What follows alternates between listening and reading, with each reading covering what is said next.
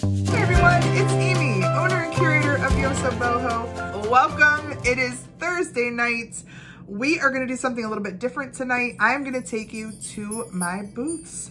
So those of you who have requested to see the booths and to get a little bit of my take on the boots. that's what we're going to do tonight. Just a little bit of a backstory. My Aunt Beth and I decided to open a booth at the very worst time possible, right before the world shut down in February of 2020. we found a room on the second story of a different place, and it turned out to not be the best decision. I think part of it was because the world shut down, and part of it was just low traffic, and oh my gosh, being on a second floor and taking everything up every time we wanted to bring something in was a little crazy too. things you got to think about when you're going to open up a booth. After learning all of these things, we decided to move our booth into the Shops by the Lake in February, March, beginning of March in 2021. After opening our first booth at the Shops by the Lake, we decided to open a second booth, what we call our Yoso Whimsical booth, which is packed full of an eclectic mix of cool and colorful things. In about October of last year, we decided we were going to open up a temporary booth, a third booth, just for Christmas stuff. And we did that. And we had a pretty successful Christmas season because of it. At the end of January this year, I decided I was going to go in and do a little bit of a revamp on our original Yoso Boho booth. And I would pull my Christmas stuff out of the third booth and my aunt decided to keep that third booth. So tonight's adventure will be all of that and I will share that whole process with you. And if you are in the area and you do get a chance to visit the shops by the lake, Please be sure to stop into those booths. We have booth number 54, booth number 108, and then my aunt kept that third booth and that number is 127. So be sure to visit them all. Okay, let's go check out what a day in the life of a booth owner looks like. Let's go. Hey everybody, we have all kinds of inventory back here. We are gonna go do an overhaul. We're gonna focus on the Yo So Boho booth, my original booth, and we're gonna revamp that. And I'm gonna take a bunch of stuff in and pull a bunch of stuff out. And so, are you ready to do some work today? We're gonna be working today. It is ugly out this morning. Probably what? Just over freezing? It's like 35 degrees. 40.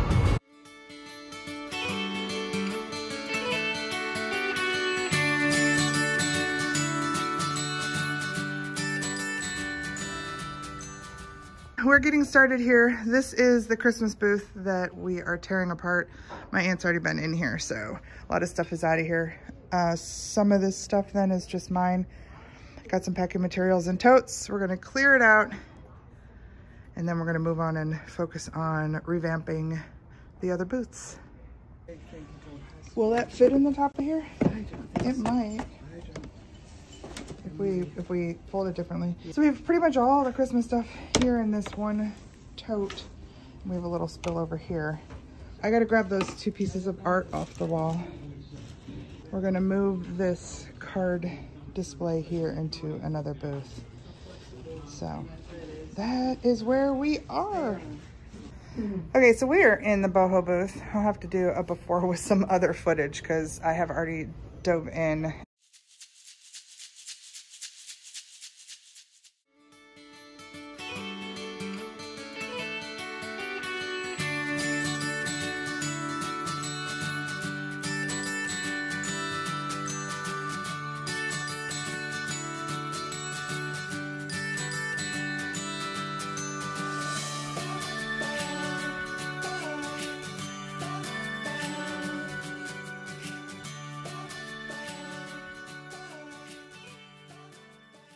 It is noon. We are tired and we're nowhere. so I'm just gonna be raw about this. This is the challenge of owning a booth. You can only kind of visualize so much and do so much measuring, but this is where we are. So this is a new piece here. These pieces are just being kind of moved around. I'm trying to maximize the real estate throughout here and it's just proving to be difficult. I haven't even brought anything in yet and I've got some donates and some things going out, but there's still a lot more to do. So that's the update, y'all. All right, it's break time. And right across the street is where we like to get lunch. So we're gonna go in here and reconvene and brainstorm since it's afternoon already and we're gonna run out of time pretty quick. Okay, so here's where we are right now. I am finding that I have left some stuff behind. I have a big canvas that was gonna go back in over here, but we've got some new pottery happening. Art has not gone on the wall, so it's kind of strewn about. um, but the configuration works. It's different now. You can't walk in and around it. You can kind of walk in and take a look at this stuff. And this stuff's more kind of focused on boho. There's a little bit of cottage core and a little bit of whatnot just thrown in the mix. Um, and then we did leave the stove on this side. So then this side has a more kind of linen kitchen um, feel to it. I put some of the galvanized stuff up in here. And I have to find my teacups. I have teacups that we're gonna go in here. This case needs help. Beth and I gotta do something creative with this. We wanna put like a dark background or something that'll kind of offset some stuff. But we did get the linens all back in here. This nice wire piece looks really nice with the stove with kitchen stuff on it. And that's it. Let me step back here so you can kind of get a look. Different. It's different for sure. People will notice that it's all been changed out and that's the point is to make it look completely different. Your eye can't settle on the same thing that you saw last time you were here because unless it was the stove, everything else around it has changed.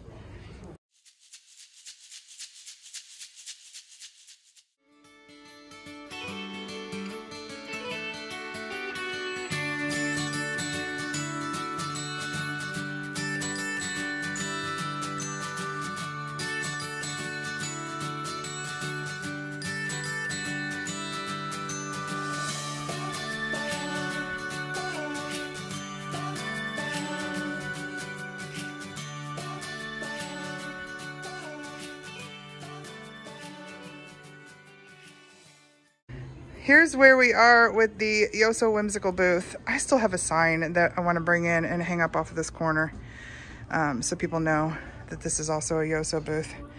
So this is kind of looks like it did, although it's a lot of new stuff and a lot of stuff moved around. The shelves are nice and packed, although I can move in some more stuff on some of these shelves.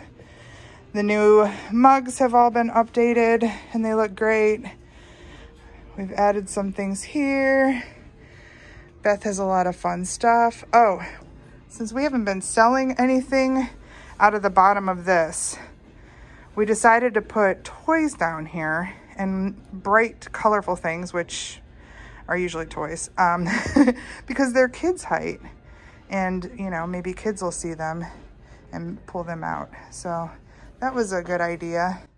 And you'll see we've added some Easter things, kind of passed them by all those bunnies. So it's nice and packed and refreshed and let's go check out where we're at with the two other booths.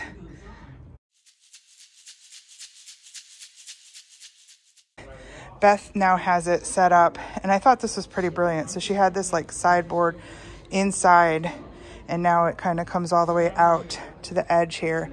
She's backed up shelves to it. She's got a nice linen quilty area. And then here's where she's at. She's got so much wall space that she can just have at now. Although that's cool. I didn't see that little lizard guy. So we moved a couple of things around. We took a big green table out of here and put it over in the boho booth. She's got this awesome little stack now of stuff. Ooh, she's got a pottery piece that I didn't know about. Hmm, I'll have to look at that. one of these little sewing drawers full of ceramic. Are those stone? They're stone. And she's got prices on these that are way too low. Way too low. Whatever. I want to get rid of them. Holy moly. I might buy them for that. She's got this awesome magazine rack. And I'm jealous of this. She bought this here at some point. She put it up. And it was funny. She had a couple of things on here today as she's setting up and they're already gone. So I wouldn't be surprised if that piece goes away pretty quickly. So she's got a lot of room in here. You could probably put a chair, a piece of furniture, Yep. and lots and lots of wall space. All right, let's go take one last look at the boho booth. Okay, and finally, we have a couple of things that I meant to bring in, like I said, that are missing here. But we definitely have a nice kind of distinction between uh, Yoso Boho, which is kind of to the right here, you can tell. Got some cool new boho things, some incense. We did move the stove over two inches so we can get this back in here. Um, I don't really want that macrame hanging there, but it is for now. And now we have another area to kind of walk in and peruse here. I like the layout, I do. Here's the teacups I said were missing. We got some in there and then some stuff was put in here. And I actually like the way this looks. I still think we need to do something behind there with some contrast, but pretty happy with everything. What do you say? Think it looks different and cool? Oh, it definitely looks different. Yeah, way different. Yay. Different, doesn't it? Needless to say, it was a pretty exhausting day. it's a lot of work. So if you're thinking about opening a booth, just know that it's a lot of work. And I am truly lucky to have Earth in my corner. He's definitely become the muscle of my operation and he will jump on the other side of a dresser or a shelving unit to help move it around and he will schlep boxes around for me and it's a lot physically to do. My aunt is incredible too. She schleps all of her stuff. She gets a little help from her kids, but it's a lot of work. So just keep that in mind. Some other things I would recommend if you're thinking about opening a booth is location, location, location. We did not have good traffic in our first booth. We lost money in that endeavor. I think too, it was part the economy, everything closed down. So it was hard to make money when nobody was actually going out to shop. keep that in mind though. Location, what does the foot traffic look like? Are there a lot of people coming in and out of there? You also have to keep in mind though, the competition. You know, we're in a place of 150 booths. So we want to be one of those booths that really stands out and compels somebody to walk into them and to spend a little bit of time in them. Because anybody who is there knows there's a lot to see. So they sometimes hesitate to spend time in any one individual booth. They're kind of just moving and scanning. And that's the reason why you want to change things around. You want to get in there and move stuff because that same person who's a regular that comes past your booth is going to have those points that they're going to look at. They're going to kind of scan. They're going to recognize things. And if they don't see any change in those things, they're going to move on. It's amazing what will happen when you just move some main items around. Because if their eyeball moves to what they normally see when they scan and it's now different, they may stop because, up, oh, something's changed and maybe there's something new here. So that is a big recommendation is to spend some time just to move things around. You'll hear other people who have booths say the same thing. You get what you put into your booth. I need to take that knowledge and apply it, definitely. Um, it's a little bit harder for me. I live about an hour away. Um, I get in there to work once or twice a month. So I need to get back there another time, another weekend during the month and, you know, take the time to move stuff around. It definitely pays off. If you have been thinking about doing a booth and you have any questions, feel free to email me. I'll put my email right here. Um, I'm good for answering questions if you have any questions. I will definitely be promoting Yvonne's next booth talk, but if you missed the last one, I am going to connect that up here and down in the information box below. Go check that out.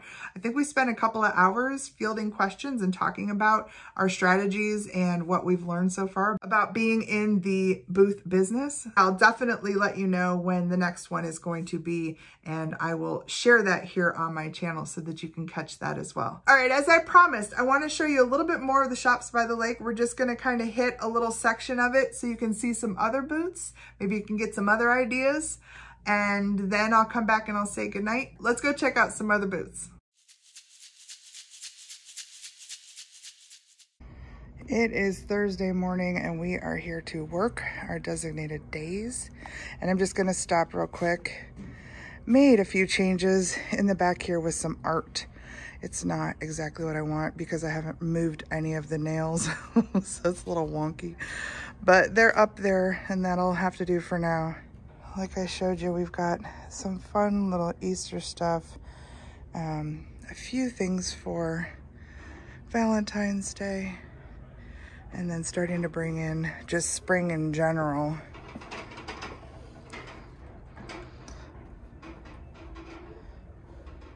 Let's move this little guy up here.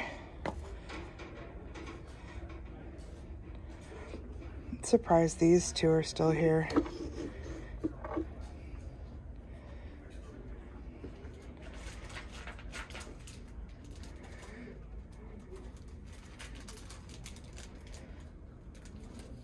Looking pretty good. We got all the toys down here.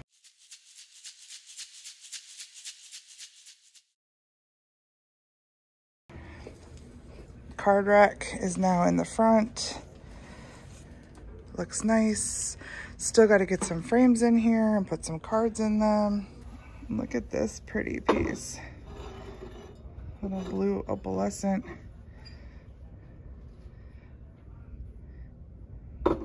That's new.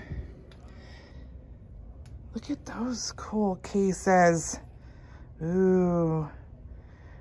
I'll have to check and see what colors I have. That might fit into my collection. Here is the full look at the Whimsical booth.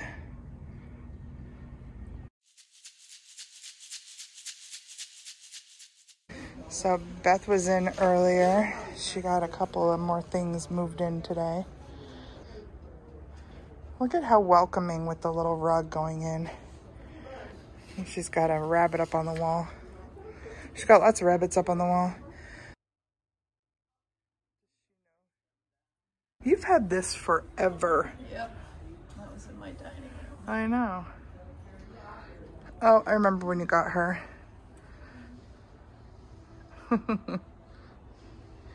what else is over here? I remember when you got this little piece. Yeah, so cute. That's a good price on it. Oh, look at your toys on the shelf.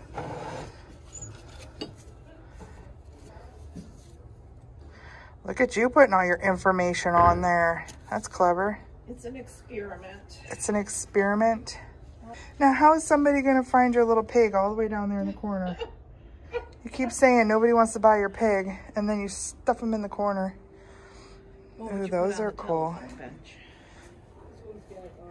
Look at all of that. That is pretty. That's a good price. $10 for that big thing? Wow.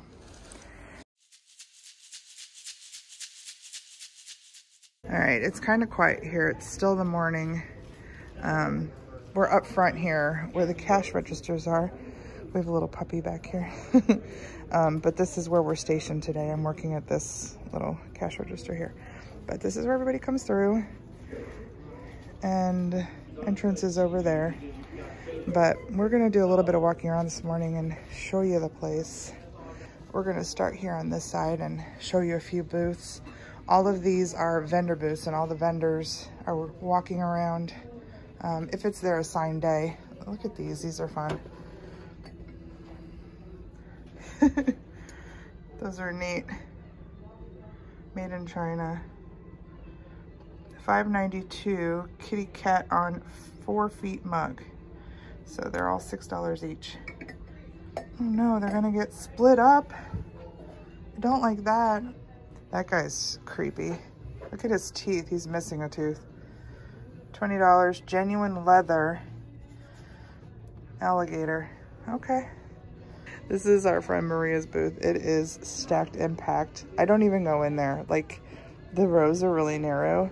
So she has a pretty large booth. It's a double booth is basically what it is. It's like two booths without a wall. But she has, I mean, look at that. Almost all the way up to the ceiling. Stacked stuff. Let's see. Let's go down here.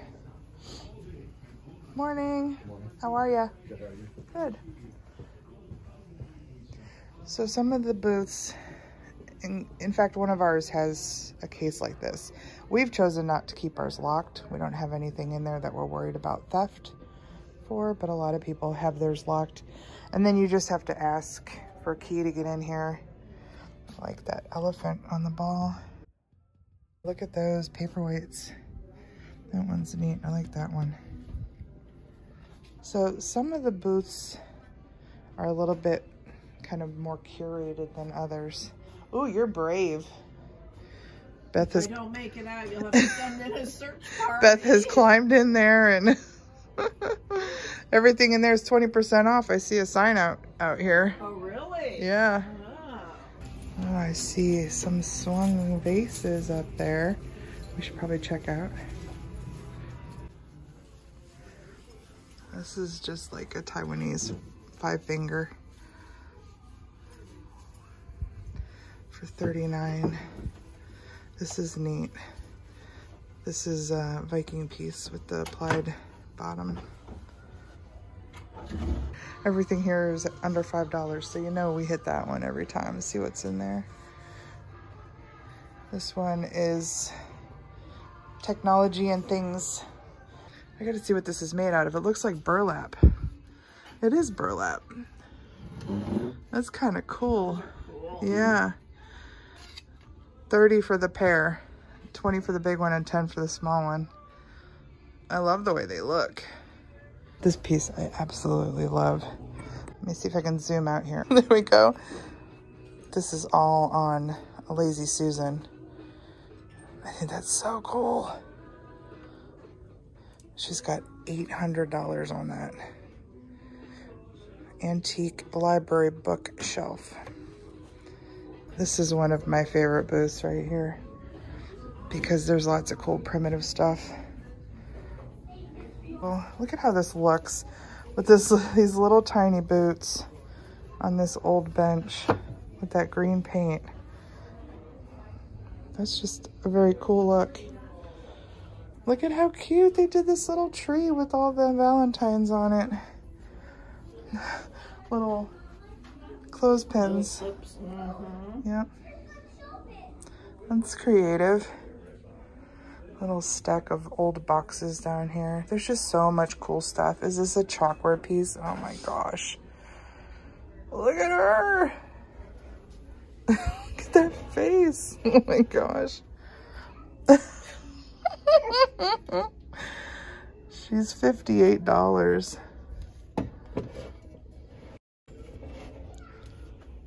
All right, so we rounded the corner. Now you can see this goes all the way back to the back of the building. And there are aisles that shoot down this way. This is another bargain booth. This is Alex's booth. Alex is one of the owner slash managers. Yeah, some empty shelves in here. What is this? I see a linen with some red are they broccolis? What are they? I don't know. It's a bird, right? Okay, do it this way. It's a bird. It's a bird. And broccolis. How much is it? Five dollars for a bird for a bird with broccoli. And that guy's cute. Like him. He's got those coy little side eyes that always get me in here. What is this? Oh, oh my. I love this. This is Red Wing. Oh my gosh. Look at, there's the flower frog. And here's the bowl.